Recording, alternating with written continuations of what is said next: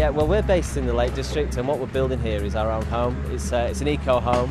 It's one I designed myself as a designer, and uh, it's, it's, it's something we're filming with a, a Channel 4 uh, documentary.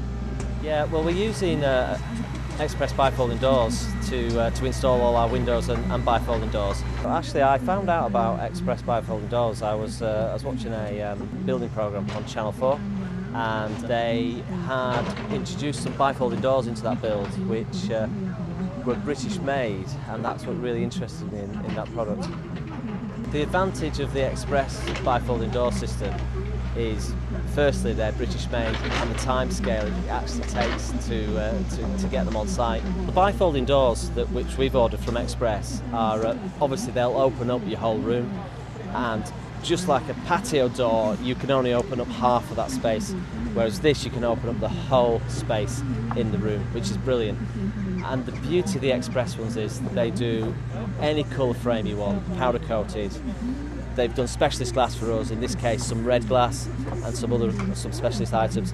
Yeah, Express are here today. They're actually fitting a huge atrium uh, glass doorway and bifold door for me.